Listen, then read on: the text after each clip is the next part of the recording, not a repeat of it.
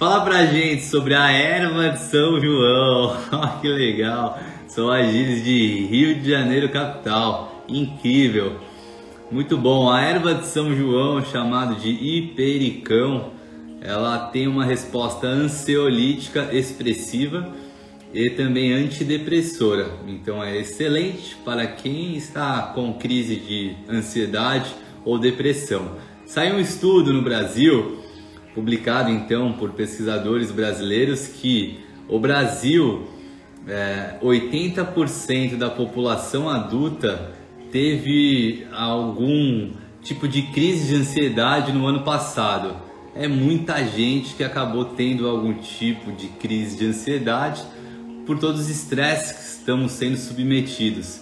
E com isso, nós estamos bem acima da média mundial, que beirava em torno dos 30% da população adulta de cada país, ou na verdade a média de todos eles. Então, infelizmente, o Brasil se destaca e a erva de São João é uma das melhores opções com fins terapêuticos, mas a concentração necessária diária para a promoção do benefício esperado tem que ser bem alta. Vocês precisam parar de ter medo dos chás, tá? Para tudo! Não acredito que você ainda não é inscrito no meu canal. Todos os dias, às 20 horas, um novo vídeo. Então se inscreve agora! Ativa o sininho! Vai! E bora continuar assistindo o vídeo.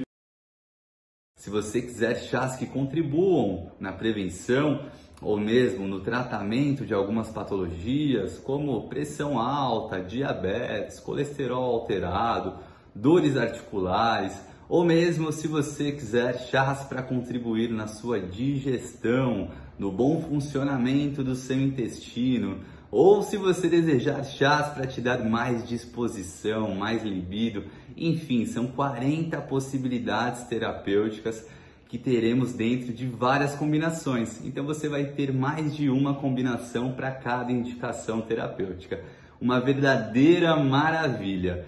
Este conteúdo todo foi desenvolvido por quatro anos, então é super demorado para a gente conseguir resumir e deixar numa apresentação super simplificada e reforço, muito segura, pois todas as combinações de ervas estão pautadas por evidências científicas. Assim você vai ter a segurança e a eficácia, que seria o benefício esperado conquistado.